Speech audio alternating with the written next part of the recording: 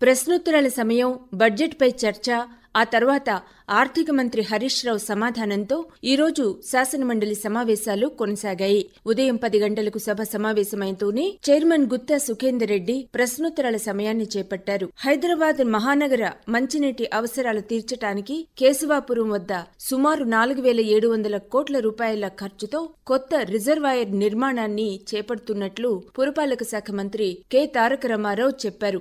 సభ్యులు ఎంవి ప్రభాకర్ రావు అడిగిన ప్రశ్నకు మంత్రి సమాధానమిస్తూ రెండు వేల యాభై సంవత్సరం వరకు నగర అవసరాలను దృష్టిలో పెట్టుకుని ప్రణాళికల్ని రూపొందించినట్లు చెప్పారు.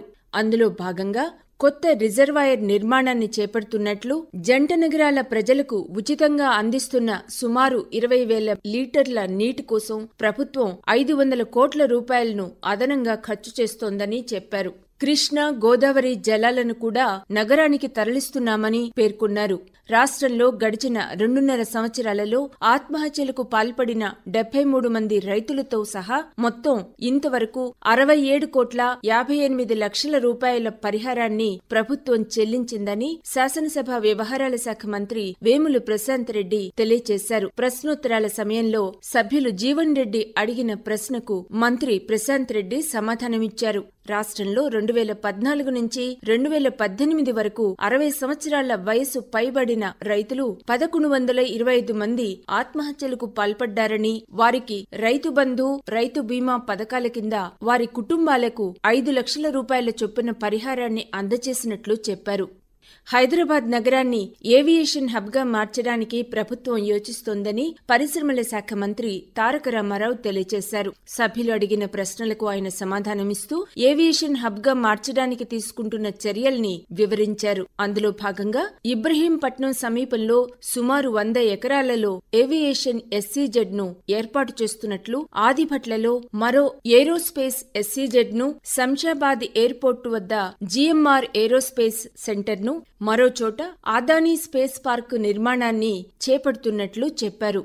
ఈ రంగాలలో వచ్చే మూడేళ్ళలో మూడు నుంచి ఐదు వేల మంది వరకు ప్రత్యక్షంగా పరోక్షంగా ఉపాధిని పొందుతారని మంత్రి వివరించారు.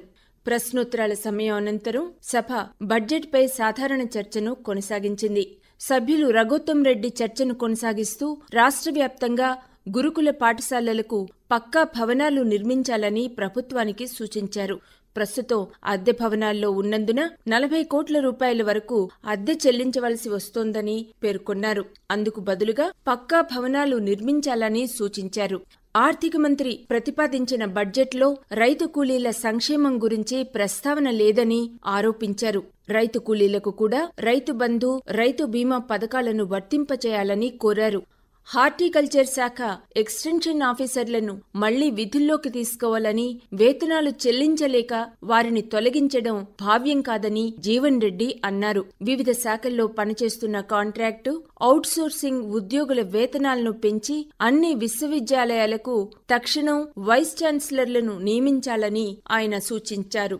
అంతేకాకుండా ఉమ్మడి వరంగల్ జిల్లాలో పెండింగ్లో ఉన్న సైనిక్ పాఠశాల ఏర్పాటు విషయమై కేంద్ర ప్రభుత్వంతో సంప్రదింపులు జరపాలని సూచించారు. అధికారపక్ష సభ్యులు పల్లా రాజేశ్వరరెడ్డి మాట్లాడుతూ ప్రభుత్వం విద్యుత్ రంగంతో పాటు ఇతర రంగాలలో మిషన్ కాకతీయ వంటి పథకాల ద్వారా చేపట్టిన అభివృద్ధి కార్యక్రమాలకు ప్రజలు విద్యావంతులు పట్టభద్రులు మరోసారి అండగా నిలిచారని పేర్కొన్నారు. సభ్యులు లక్ష్మీనారాయణ మాట్లాడుతూ అన్ని వర్గాలు ప్రాంతాల అభివృద్ధికి ఈ బడ్జెట్ దోహదపడుతుందని అన్నారు. అంతకుముందు ఉద్యోగ ఉపాధ్యాయ వేతన సవరణకు సంబంధించి సభా వ్యవహారాల శాఖ మంత్రి వేముల ప్రశాంత్ రెడ్డి సభలో ప్రకటన చేస్తూ ప్రభుత్వ యంత్రాంగంలో భాగమై పనిచేస్తున్న కాంట్రాక్టు ఉద్యోగులు అవుట్సోర్సింగ్ ఉద్యోగులు హోంగార్డులు అంగన్వాడీ ఆశా వర్కర్లు సెర్ప్ ఉద్యోగులు విద్యా వాలంటీర్లు కేజీబీవి సర్వశిక్ష అభియాన్ ఉద్యోగులు విఆర్ఏలు విఏఓలు తదితర ఉద్యోగులతో సహా ఉద్యోగులు ఉపాధ్యాయులకు వేతనాల పెంపు వర్తిస్తుందని చెప్పారు. రాష్ట్రంలో తొమ్మిది లక్షల పదిహేడు వేల మంది పైగా ఈ వేతన పెంపు వల్ల లబ్ధి పొందుతారని పేర్కొన్నారు. అనంతరం అంతకుముందు బడ్జెట్పై జరిగిన చర్చకు ఆర్థిక మంత్రి టి. హరీష్ రావు సమాధానమిచ్చారు. ఈ బడ్జెట్ పూర్తిగా వాస్తవిక అభివృద్ధికి దోహదపడే బడ్జెట్ అని పేర్కొన్నారు.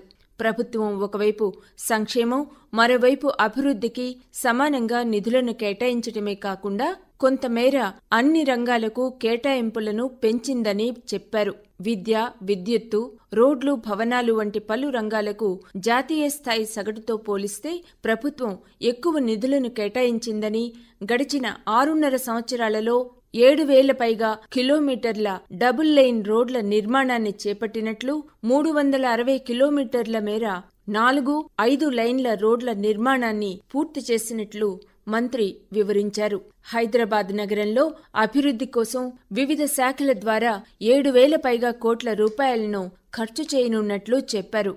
ప్రభుత్వం త్వరలోనే కొత్త మైనింగ్ పాలసీని ప్రకటించనున్నదని సభ్యులు లేవనెత్తిన పలు అంశాలను ప్రభుత్వం పరిశీలిస్తుందని హరీష్ రావు హామీ ఇచ్చారు. ఆర్థిక మంత్రి సమాధానం అనంతరం చైర్మన్ గుత్తా సుఖేందర్ రెడ్డి శాసనమండలిని ఈ నెల ఇరవై ఆరు వరకు వాయిదా వేశారు.